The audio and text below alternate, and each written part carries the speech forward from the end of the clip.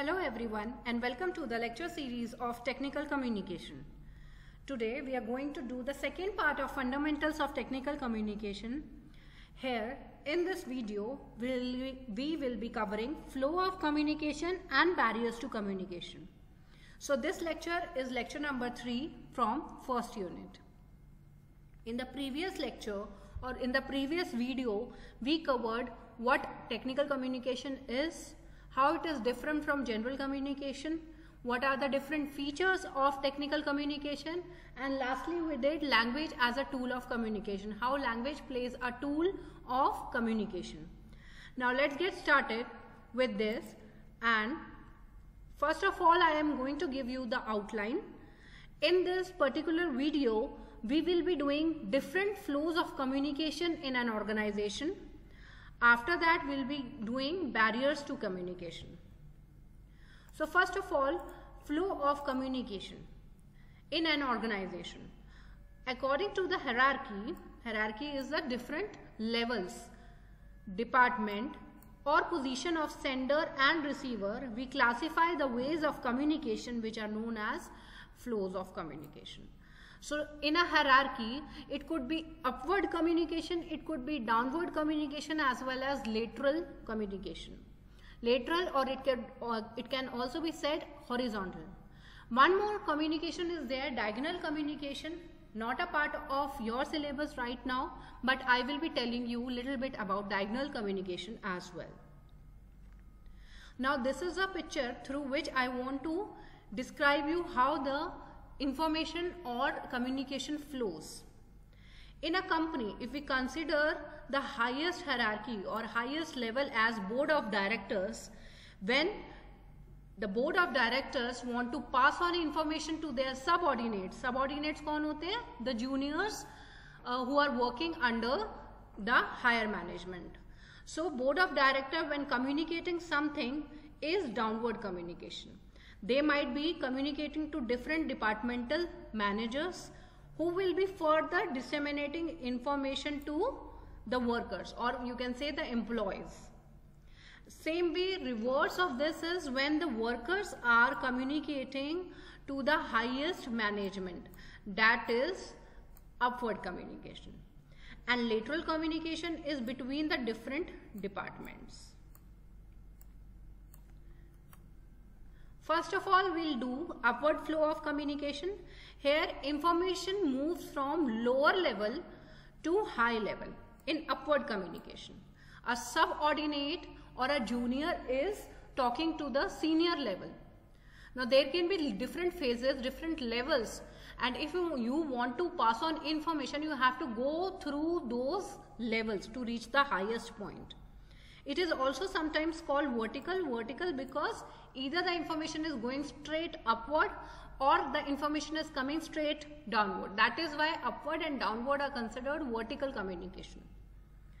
It takes the form, form of progress reports. So what is the work of juniors? To give reports to their seniors, information about success or failure of individual or work group, any project on which you are working, so you have to give report, any successes or any failures that you might face in between.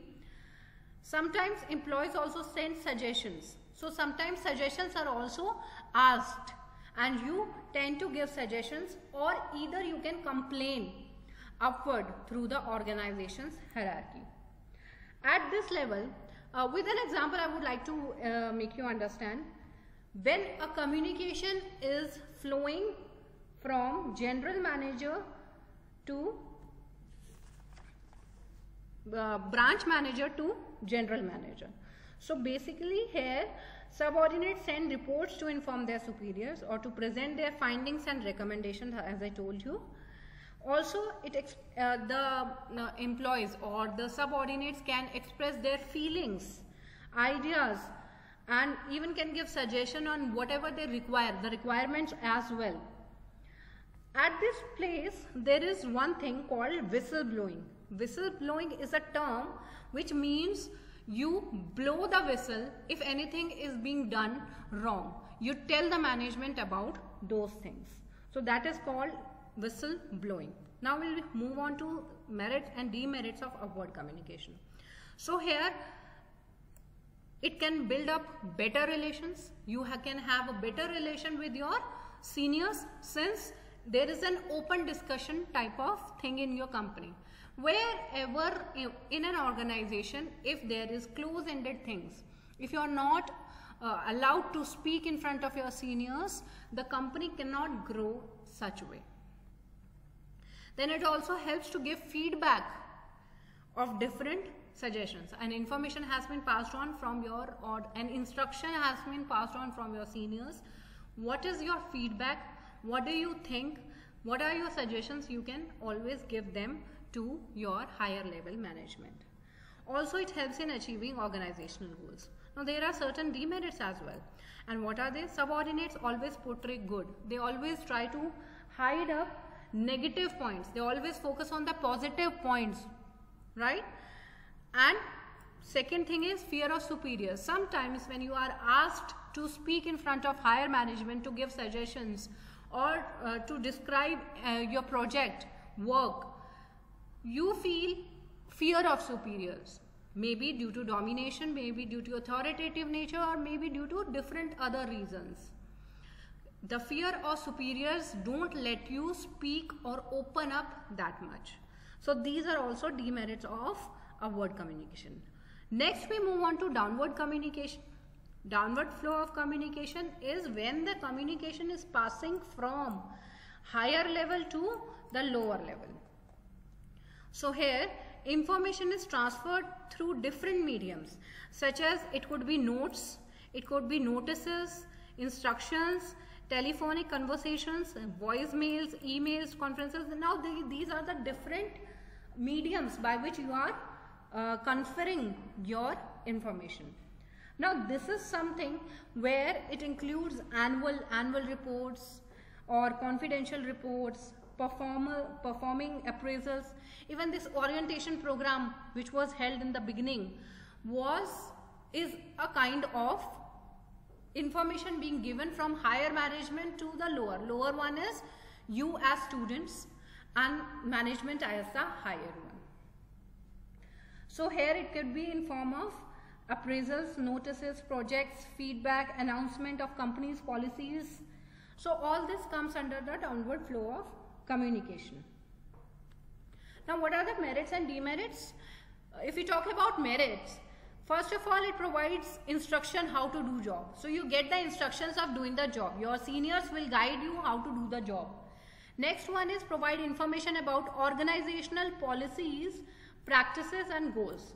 So the orientation program is nothing less than providing information about organizational policies, your departmental policies, departmental practices and vision and mission of the department to provide feedback on performance. So these are the merits of downward communication. And what could be the demerit? Demerit is chances of distortion. When there are too many levels, when the information is passed from the higher level and there are too many levels, there are chances when your information will be filtered as per the need of an individual and it will be distorted and could be miscommunicating communicated to the one who is bound to receive that information. Next one is lateral or horizontal flow of communication. It is also called equivalent employees. Why? Because it is happening between the same level. So in this the people at the same level or same status in the organization exchange information. For example, HODs of different departments, they are at the same level and they, they are, if they are communicating and if they are passing on, uh, if they are talking about something or exchanging information, that will come under the category of horizontal flow of communication. In fact, if you consider uh, yourself as one level that is students, student talking to another student will come until uh, come under horizontal flow of communication. Whereas a student talking to faculty or to HOD will be upward communication. Also if a faculty is passing on some instructions or things to do that will be downward communication coming to horizontal since organization use teams and co collaborative work groups horizontal communication becomes indispensable. The indispensable matlab very important. Now what are the merits and demerits? Merits? Helps employees to share information better coordination among peers possible. If there is if you're working on a project if five people are working on a project and they are uh, their communication gap is not there and they are communicating good exchanging information for the betterment of everyone then there is good coordination hence the resultant will be good. Department faces any problem can consult or contact another department of organization for possible solution. Interdepartmental talks and then lastly, it is essential for effective functioning. Now, demerit is also there. It can lead to some conflict or clash. Why it happens? Maybe because of jealousy, maybe because of misunderstanding, or you have a prejudice against somebody. So there could be chances of conflict or clash among the peers. Lastly, diagonal flow of communication which is not directly in your syllabus but you should know what is diagonal flow of communication. It is also known as spiral communication. In this, people of different status and different departments share information in pursuit of achieving the organizational goals. For example, a mechanical student can talk to the HOD of uh, IT department, informational techno technology department. So that will be interdepartmental and interstatus. Your level of hierarchy is different. Your department is different. Your uh, work, domain of working is different. And you are communicating. That comes under diagonal flow of communication. Now second topic of the day is barriers to communication. What is communication? It is basically an exchange of information from one individual to another through a medium. And barrier to that communication is anything that hinders the process of communication, communication at these levels is barriers to communication. It can be defined as the aspect or condition that interfere with effective exchange of ideas or thoughts. There could be several factors that bring this, these barriers into communication and they could be environmental, technological, organizational, jargons, external noise, emotions, distance, personal interest, halo effect, misinterpretation, fear, stress, status, chain of com command that is hierarchy. We talked about uh, hierarchy or chain of command just now.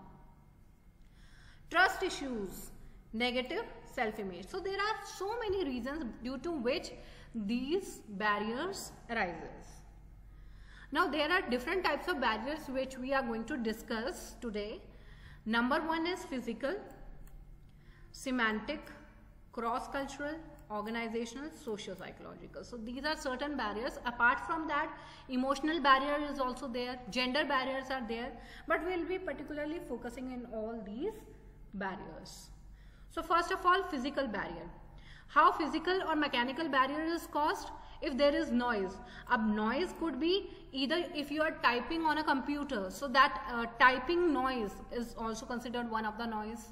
Late arrival of employees, they could be uh, in fact, late arrival of you students coming to the class is a perfect example of bringing noise to the class and hindering the communication process of sender and receiver.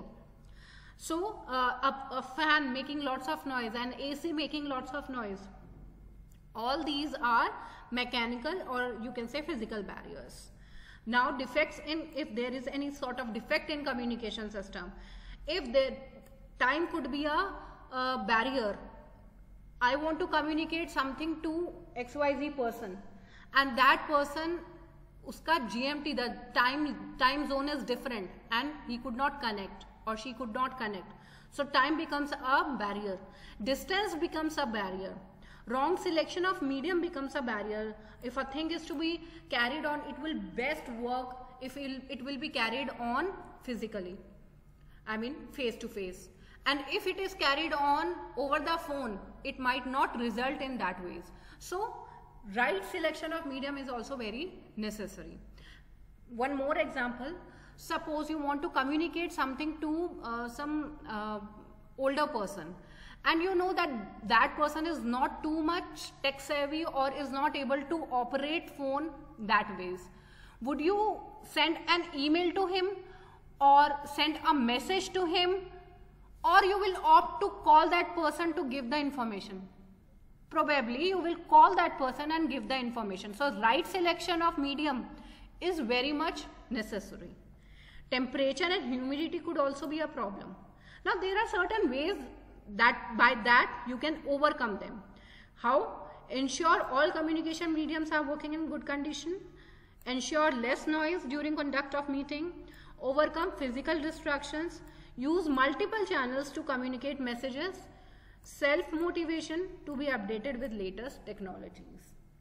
So these are certain ways by which you can overcome physical barriers next comes semantic or can be said language barriers so how? Misinterpretation of words, difference in language, use of jargons, bypass instructions, inadequate vocabulary, no clarity of speech.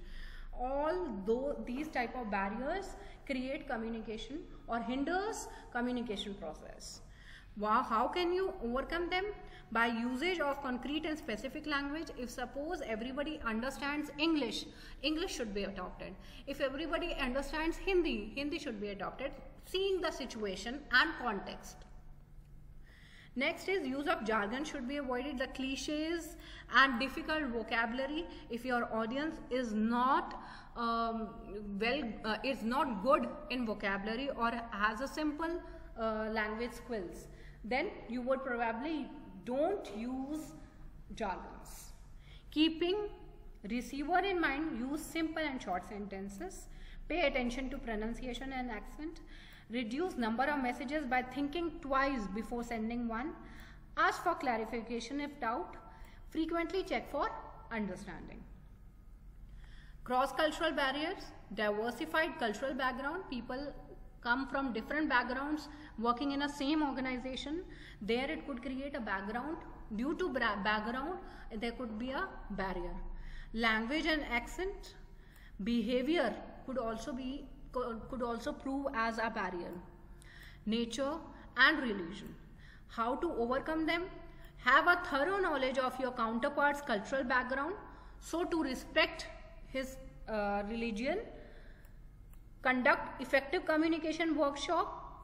Work in groups and run frequent meetings cross-cultural environment to create cross-cultural environment in an organization and that is what is being done nowadays so all the festivals are being uh, celebrated in the offices. You must have seen or you must have heard from your parents, from your siblings. Management should facilitate learning about different cultures. So, so as to have respect for different cultures.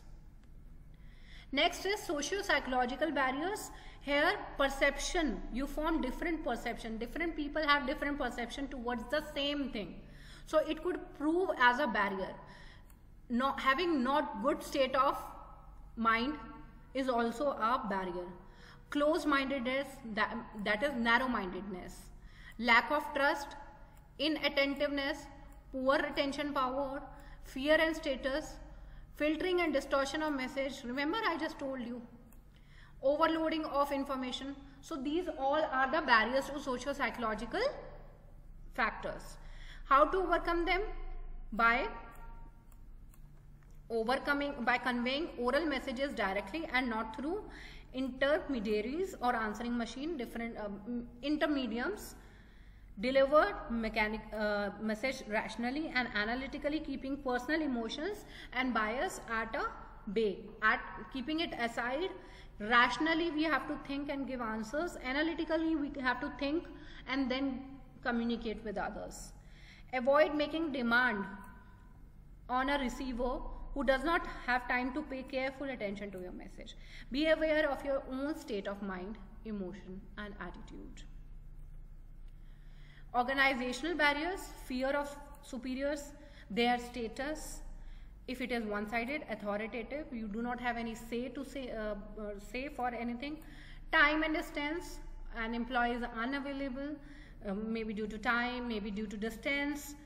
Lack of communication policy, too many levels can, can prove as a problem or a hindrance in communication. insufficient communication training. So nowadays time and again there are training sessions which are happening and uh, companies are conducting them. For just to train their employees to have a good communication to have a effect to have an effective communication amongst themselves. Now ways to overcome this type of communication empathetic feeling as if this thing has happened to you. To feel somebody's somebody problem or maybe somebody's happiness as well employees orientation having an orientation is also important which clears many doubts improving interpersonal relations take feedback properly, use proper channel for communication. So these are all the barriers which we have discussed. I hope everything is clear. The flows of communication, upward, downward, lateral, also diagonal and barriers to communication. Physical, semantic, socio-psychological, organizational, cross-cultural. In the next video, we will be covering dimensions of communication, wherein we will be covering two aspects of dimension, that is reading and writing. Thank you so much, students. Keep learning.